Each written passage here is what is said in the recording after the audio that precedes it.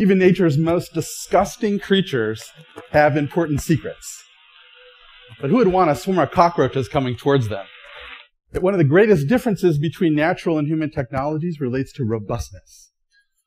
Robust systems are stable in complex and new environments. Remarkably, cockroaches can self-stabilize running over rough terrain. When we put a jetpack on them or give them a perturbation like an earthquake, we discovered that their wonderfully tuned legs allow them to self-stabilize without using any of their brain power. They can go over complex terrain like grass, no problem, and not get destabilized. We discovered a new behavior where because of their shape, they actually roll automatically to their side to go through this artificial testbed of grass. Robust systems can perform multiple tasks with the same structure.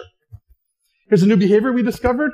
The animals rapidly invert and disappear in less than 150 milliseconds. You never see them using the same structures that they use to run, their legs. They can run upside down very rapidly on rods, uh, branches, and wires. And if you perturb one of those branches, they can do this. They can perform gymnastic maneuvers like no robot uh, we have yet. And they have nearly unlimited maneuverability with that uh, same structure and unprecedented uh, access uh, to a variety of different uh, areas. They have wings for flying when they get warm, but they use those same wings to flip over if they get destabilized. Very effective. Robust systems are also fault tolerant and fail safe. This is the foot of a cockroach. It has spines and gluey pads and claws. But if you take off those feet, they can still go over rough terrain, like the bottom video that you see, without hardly slowing down. Extraordinary. They can run up mesh without their feet. Here's an animal using a normal alternating tripod, three legs, three legs, three legs. But in nature, the insects often have lost their legs. Here's one moving with two middle legs gone. You can even use, use three legs and a tripod and they adopt a new gait, a hopping gait. And I point out that all of these videos are slowed down 20 times. So they're actually really fast when you see this. Robust systems are also damage resistant. Here's an animal climbing up a wall. It looks like a rapid, smooth, vertical climb. But when you slow it down, you see something very different. Here's what they do. They intentionally have a head-on collision with the wall so they don't slow down and can transition up it in 75 milliseconds. And they can do this in part because they have extraordinary exoskeletons. And they're really just made up of compliant uh, joints that are tubes and plates connected to one another. Here's a dissection of the abdomen of a cockroach. You see these plates, and you see the compliant membrane. Uh, my engineering colleague at Berkeley uh, designed with his students a novel manufacturing technique where you essentially origami the exoskeleton, you laser cut it, laminate it, and you fold it up into a robot.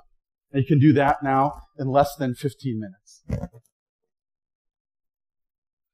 These robots, uh, called a DASH for Dynamic Autonomous Sprawled Hexapod, are highly compliant robots. And they're remarkably uh, robust as a result of these uh, features. They're certainly incredibly uh, damage resistant.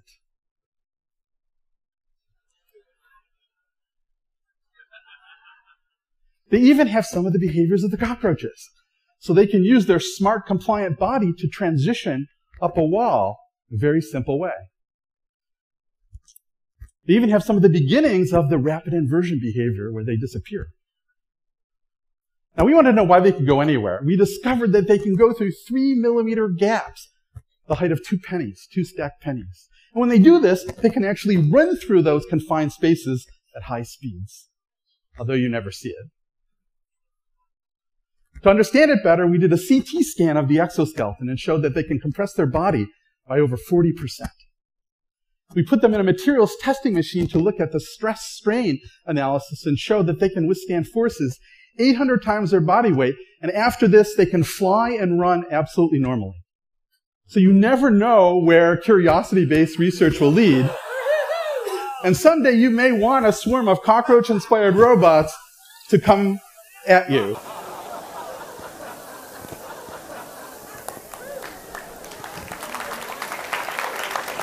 Thank you.